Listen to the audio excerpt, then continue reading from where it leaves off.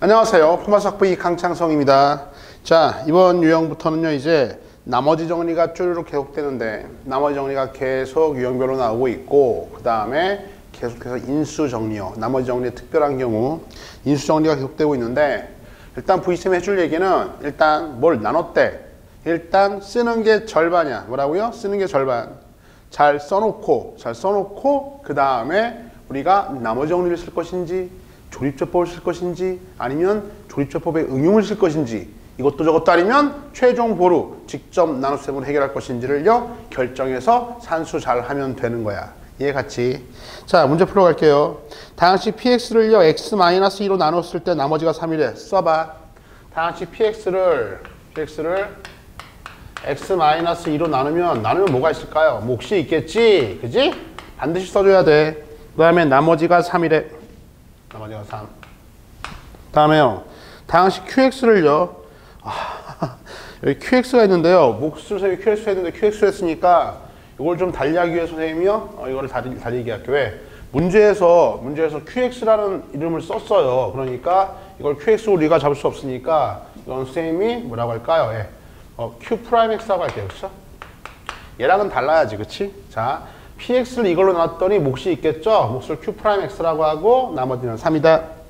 또 qx를 x-2로 나눴어요. qx를 x-2로 나누면 또 몫이 있겠죠? 그 몫이 주어져 있지 않으니까 q 2 프라임 x라고 할게요. 그쵸? 얘랑도 다를 테니까.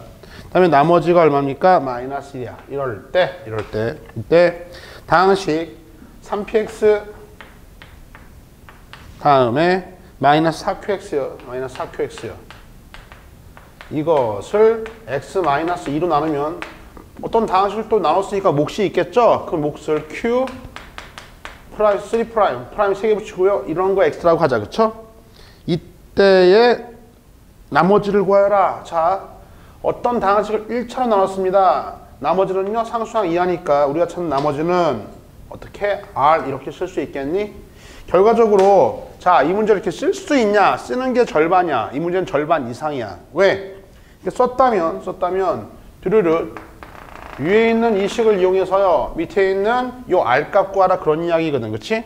됐어 나머지 정리의 핵심은 핵심은 얘를 0대게 하는 걸 넣어서요 0대게 하는 값을 대입해서 수치 대입법 Q3'X 이런 몫을 날려버리는 게 핵심이야 따라서 끝났네 왜요?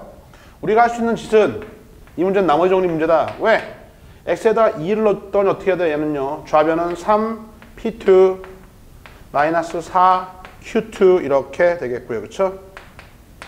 equal 1 넣어주면 0 뻥 다 날아가고 우리가 찾는 r 나온다 이거죠. 그렇죠? 그러니까 우리가 이 r값 어떤 상수값이죠? 1차로 나왔으니까 상수값 이걸 구하려면 p2 값과 q2 값만 하면 되겠죠? p2, q2 p2는 여기 있던 첫 번째 식에서 구할 수 있겠죠? x에다 2를 넣어봐. 1 넣었죠. p2는요.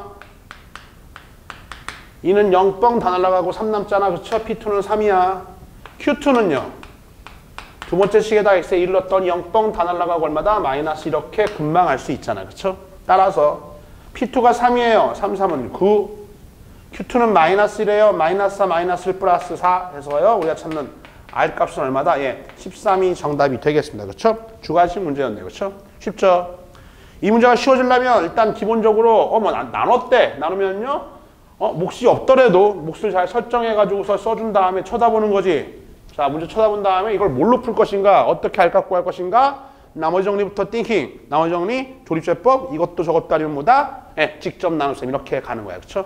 어? 유형 다 필요 없고 쓰는 게 중요하다. 지워버리고 다음 문제로 갑니다.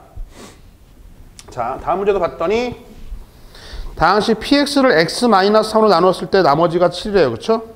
아, 그래? 그다음 다항식 x 플러스 1을 px를 이걸 또 x만 3으로 나눴을 때 나머지 구하래. 그렇죠? 써볼게. 쓰면 다음 같아요. px가 있는데 px라고 하는 그러한 다항식을요. x-3으로 나누면 나누면 뭐가 있을까? 몫이 있겠죠? 몫이 문제에서 주어져 있지 않으니까 우리가 설정하자고 이렇게 qx 됐어요? 나머지가 얼마야? 7이래. 이렇게 되겠어요. 그렇죠? 다음에 다항식 x 플러스 1 px요. 다항식 x 플러스 1 곱하기 px요. 이놈을 이놈을 또다시 x 마이너스 3으로 나눠봤더니 나누면 뭐가 있을까? 몫이 있겠죠? 그 몫을 Q 얘랑 다를 테니까 Q 프라임 X라고 하자. 이때 나머지 구하여라. 자, 몇 차로 나눴어요? 1차로 나눴잖아요. 1차로 나눴으니까 나머지는 뭐다? 예. 상수항 R, 이 R 값 구하라 이런 문제예요. 그렇죠? 여전히 이제 써놓고서 solve하러 가는데 solve하기를 이렇게 쓰는 게. 이렇게 써요. 써놓고 음 하고 쳐다보는 거야. 쳐다봤더니 R 값 구하래. 이거 죽이고 싶잖아. 그렇죠? 이거 죽이는 것. 얘를 죽여서 얘를 죽여서 여기 있던 피제수와 나머지의 관계를 살피는 게 바로 뭐다? 나머지 정리입니다. 따라서 얘를 죽이자. 대신 얼마? 얼마? 3을 대입하면 되겠네. 그쵸? X에다가 3을 넣어주면요. 3 더하기 1, 4가 되겠고요.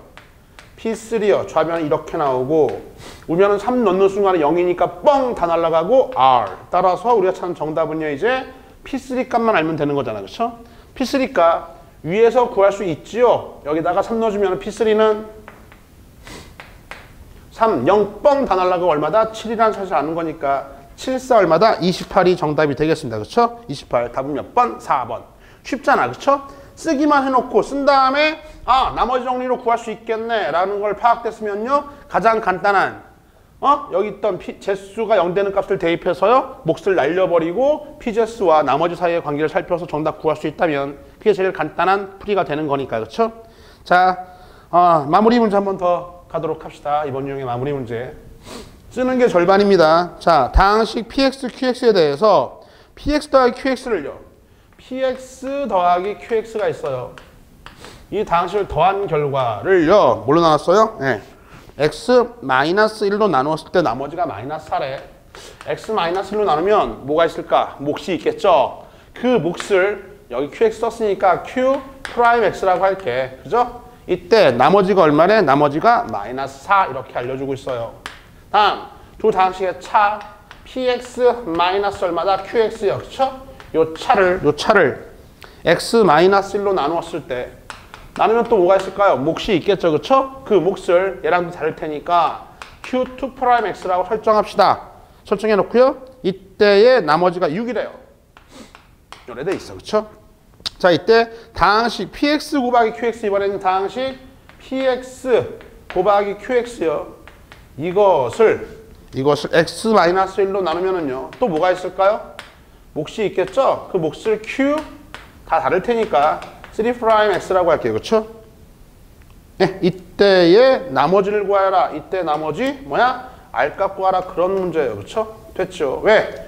1차로 나눴으니까 나머지는 뭐다? 상수항 이하일 것이다. 그렇죠? 그렇게 R값은 상수일 거예요. 그렇죠? 자, 구하러 가는데 우리의 관심은 px, qx, q 뭐 1, 2, 3 프라임 x 이게 아니라 이 R값 구하면 되는 거잖아. 따라서 이걸 구할 수 있는 방법은 x에다 뭘 대입해? 아, 1을 대입하자.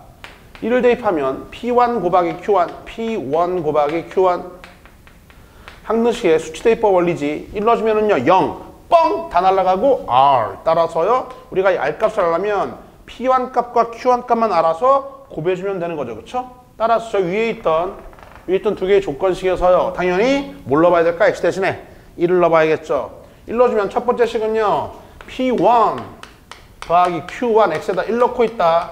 1 넣는 순간에 1은 0 뻥 다 날아가고 마이너스 4 이렇게 나오겠고. 두 번째 x 대신에 1을 넣어주면요. P1 마이너스 q1 한 다음에 이거 equal 한 다음에요. 1 넣어주면 0 뻥 다 날아가고 6 이렇게 될 거 아니야. 그쵸? 됐습니까? p1 q1 이거 미지수 이거 large x로 치환하고 large y 치환했다고 봐도 되고 그냥 연립 방정식에 불과해. 연립 방정식이다. 그쵸? 따라서 변변 더해주면요 2p1 2p1은요 날아갈 거고요. 2가 돼서 따라서 P1 값이 얼마 나옵니까? 1 나옵니다. P1이 1이니까요. Q1은요? 예, Q1은 마이너스 5 이렇게 되겠네. 그쵸? 1 곱하기 마이너스 5는요. 나머지 R값 얼마다? 마이너스 5가 정답이 되겠습니다. 그쵸? 주관식 문제였네. 그쵸? 자, 가장 이제 나머지 정리 처음 들어가는 첫 유형인데. 그쵸? 유형을 여러 개로 갈려놨지만 사실은 핵심은 이거야. 당식 문제, 당식의 나눗셈 뭘 나눴어? 나누면요. 목과 나머지 잘 설정하시고 문제도 주어진다 이렇게 쓰는 게 절반이야. 써놓고서 이게 나머지 정리로 풀 것인가 우리가 조립제법으로 해결할 것인가 이것도 저것도 아니면 앞서 배웠던 직접 나눗셈으로 풀 것인가를요 선택만 잘하면 되는 거다. 됐습니까? 이번 강의는 여기까지예요.